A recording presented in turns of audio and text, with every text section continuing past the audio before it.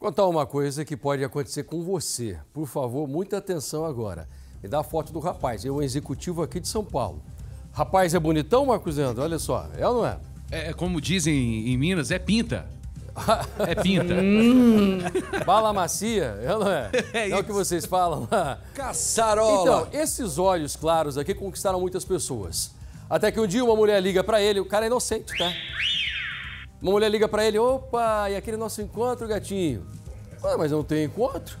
Ele descobriu que já montaram mais de 100 perfis falsos usando as fotos que ele coloca nas redes sociais. Aí tem isso, você começa a colocar as tuas fotos, deixa aberto, tem gente que vai lá e vai puxando as tuas fotos e vai criando o perfil. E aí, Marcos? Você com esses olhos claros, meu querido Jorge, tome cuidado, é ou não é?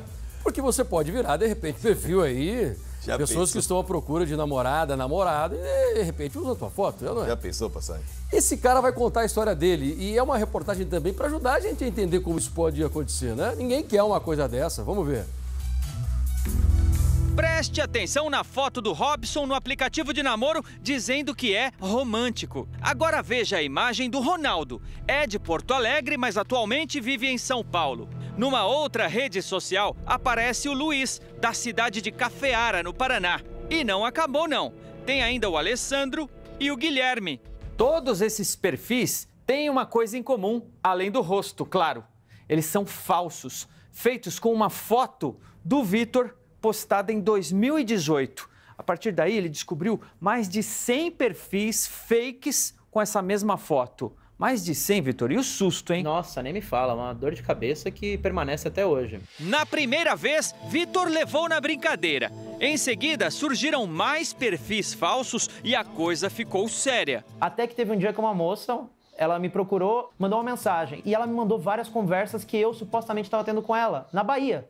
Eu nunca fui para Bahia e ela estava marcando encontro com essa pessoa que estava se passando por mim. Eu falei, pelo amor de Deus, não vai. Já foi o tempo em que as redes sociais mais pareciam uma brincadeira. No máximo dava para reencontrar uma velha amizade ou checar com quem o ex anda passeando ou mesmo trocar curtidas. Mas logo a força das redes foi descoberta pelas empresas, principalmente no setor de vendas de produtos e serviços, e os bandidos, claro, a bandidagem não podia ficar de fora. Logo, eles inventaram inúmeros golpes. Mensagens falsas de alertas como clique no link ou vai perder a sua conta na rede social. Ou aquelas que parecem vir de algum conhecido pedindo dinheiro. Ou mesmo o famoso golpe do falso namoro. Todos eles são aplicados usando perfis fakes tome muito cuidado com, que, com quem você está falando, principalmente com quem está entrando em contato. Sempre desconfie. Apropriar-se de dados, imagens ou atribuir falsa identidade é crime e pode dar de três meses a um ano de detenção, no mínimo, e mais multa. Mas o desafio, segundo esta advogada especializada, é identificar os autores. As pessoas se escondem na internet, no anonimato da internet. E aí a gente tem um problema muito mais sério. As plataformas de serviços digitais não têm colaborado com a justiça no Brasil para encontrar esses falsos perfis, os autores desses falsos perfis. Para se proteger, evite compartilhar dados pessoais e adicionar pessoas desconhecidas. Não exponha senhas ou clique em links de procedência duvidosa.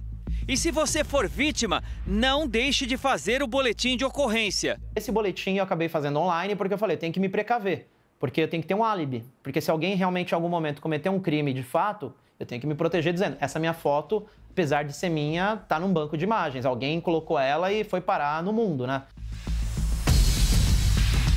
Cuidado com as tuas fotos aí, recado tá dado.